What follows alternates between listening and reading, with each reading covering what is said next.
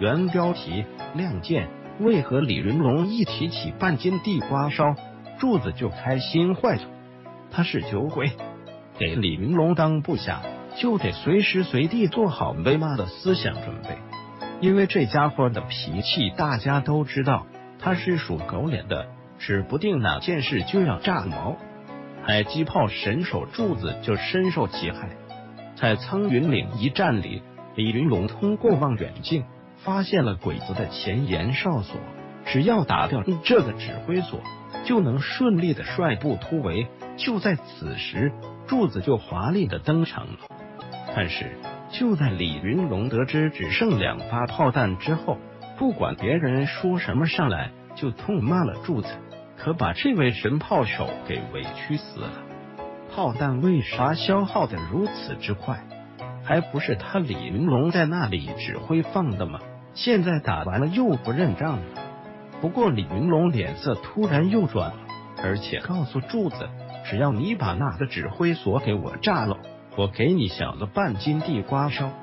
就在柱子听说这番话后，眼睛都直了，而且刚刚的委屈也是一扫而尽。我们都知道李云龙是一个待酒如命的人，老是能看他盘腿坐在炕上，一口酒一颗花生米，好不自在。难道他的身边也都是这样的一群酒鬼？首先，喜欢喝酒只是男人的一种天性。酒这个玩意儿，要说好处还真没啥好处，除了能让人非常兴奋，喝的时候十分飘飘然，其他啥作业也没有。而且喝的时候虽然非常过瘾，但是醒酒的过程却是十分难受的，不仅头疼，而且人也没有精神，搞不好还得去医院打点滴。即使是这样。大多数男人还是非常喜欢喝酒的，不为别的，只是为了喝酒以后那半醉不醉的感觉，浑身上下都透着那股子舒服劲儿。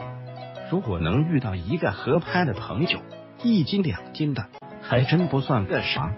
有不少女人不能理解男人为什么喜欢喝酒，其实男人喝酒可以解闷、放松压力，还能交上朋友。有这些条件就已经够了，所以柱子喝酒也是正常事情。其次，酒在那个时期是个非常稀有的物资，酿造酒水一定需要粮食，而且是大量的粮食。自打清末以来，国不成国，农业生产也是一蹶不振，导致了粮食产量一直都非常的低，特别是在一九三七年以后。粮食就更加的弥足珍贵了，到处都是饿死的人，哪有多出来的粮食去酿酒呢？当时的酒可以称之为是奢侈品，真不是谁想喝就能喝的。而去独立团的这些存酒，也都是缴获而来的。在那个时期，酒的好处还有很多，除了能够喝酒御寒以外，高度酒还能起到杀菌止疼的作用，所以。李云龙以及下面的战士都喜欢喝酒，也不算什么太稀奇的事情。最后，这半斤地瓜烧的含义非同一般。柱子毫无疑问是个爱酒之人，但是一听说团长要给他半斤地瓜烧，他就高兴的蹦了起来。一定不会只是为了那半斤酒的缘故，而最为主要的是，这半斤酒象征着的是一种荣誉。说其实一种信仰也不为过。大家试想一下，战斗胜利了，柱子抱着这半斤酒，叫上大伙，一人分上这么一口，边喝还边说：“这可是团长亲自赏的，大家都来尝尝。”这是一种多么阔气的场面！